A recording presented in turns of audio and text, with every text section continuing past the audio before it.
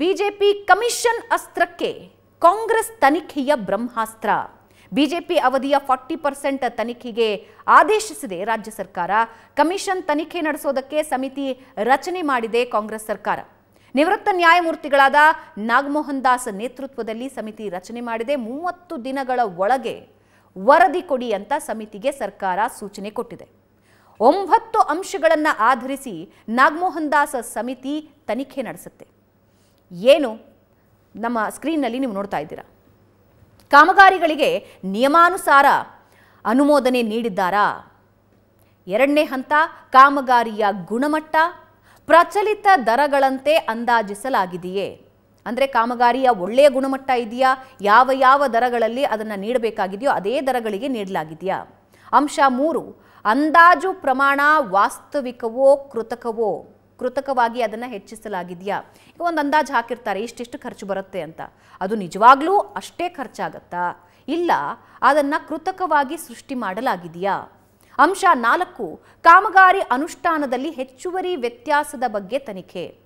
ಈಗ for an example ನೂರು ರೂಪಾಯಿ ಆಗುತ್ತೆ ಆ ಖರ್ಚು ಅಂತ ಹೇಳಿದರೆ, ಕಾಮಗಾರಿ ಅನುಷ್ಠಾನಕ್ಕೆ ಬಂದಾಗ ಒಂದು ನೂರೈವತ್ತು ರೂಪಾಯೋ, ಇನ್ನೂರು ರೂಪಾಯೋ ಆಗಿದ್ರೆ, ನಿಜವಾಗಿಯೂ ಅಷ್ಟೇ ಖರ್ಚಾಗಿತ್ತಾ? ಅಥವಾ ಅದರಲ್ಲೇನಾದರೂ ವ್ಯತ್ಯಾಸಗಳಾಗಿವೆಯಾ? ಅನ್ನೋದನ್ನು ಪರಿಶೀಲಿಸಬೇಕು. ಅಂಶ ಐದು, ಕಾಮಗಾರಿ ನಿರ್ವಹಿಸದೆಯೇ ಪಾವತಿ ಮಾಡಲಾಗಿದೆಯಾ? ಈಗ ಒಂದು ರೋಡ್ ಮಾಡಿಸ್ತೀವಿ ಅಂತ ಹೇಳಿರ್ತಾರೆ, ಆ ರೋಡ್ ಬಗ್ಗೆ ಬಿಲ್ ಈಗಾಗಲೇ ರಿಲೀಸ್ ಆಗಿರುತ್ತೆ ಅಲ್ಲಿ ರೋಡೇ ಆಗಿರಲ್ಲ. ಹಂಗಿದ್ದೇನಾದರೂ ನಡೆದಿದೆಯಾ? ಅದ್ರ ಬಗ್ಗೆ ಪರಿಶೀಲನೆ ನಡೆಸಬೇಕು. ಇನ್ನು ಅಂಶ ಆರು, ಟೆಂಡರ್ ವೇಳೆ ಕೆಲವೇ ಗುತ್ತಿಗೆದಾರರಿಗೆ ಸಹಾಯ ಮಾಡಲಾಗಿದೆಯಾ? ತಮ್ಮ ತಮ್ಮವ್ರಿಗೆ ಯಾರ್ಯಾರಿಗೆ ಬೇಕೋ ಅವರಿಗೆ ಮಾತ್ರ ಹೆಲ್ಪ್ ಮಾಡಿದಾರಾ? ಅಂಶ ಏಳು, ಕಾಮಗಾರಿಗೆ ಬಳಸಿದ ಸಾಮಗ್ರಿ, ಉಪಕರಣಗಳ ಗುಣಮಟ್ಟದ ಬಗ್ಗೆ ತನಿಖೆ. ಯಾವ ಯಾವ ಮಟೀರಿಯಲ್ಗಳನ್ನು ಬಳಸಿದ್ದಾರೋ, ಅದರ ಕ್ವಾಲಿಟಿ ಹೇಗಿದೆ? ಇವಾಗ ಎ, ಬಿ, ಸಿ ಕ್ವಾಲಿಟಿ ಇರುತ್ತೆ. ಕಾಮಗಾರಿಗೆ ಎ ಕ್ವಾಲಿಟಿ ಬಳಸ್ತೀವಿ ಅಂತ ಹೇಳಿ ಸಿ ಕ್ವಾಲಿಟಿಯನ್ನು ಬಳಸಿದಾರಾ? ಅದರಿಂದ ಕಳಪೆ ಕಾಮಗಾರಿಯಾಗಿದೆಯಾ? ಅದರ ಬಗ್ಗೆ ತನಿಖೆ ನಡೆಸಬೇಕಾಗಿದೆ.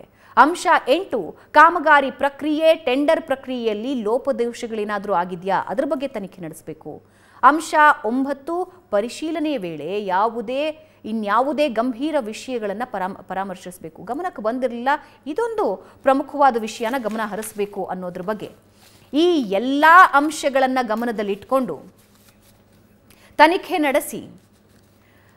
ಅಂತಿಮವಾಗಿ ವರದಿಯನ್ನ ಕೊಡಿ ಅಂತ ಸಮಿತಿ ರಚನೆ ಮಾಡಲಾಗಿದೆ.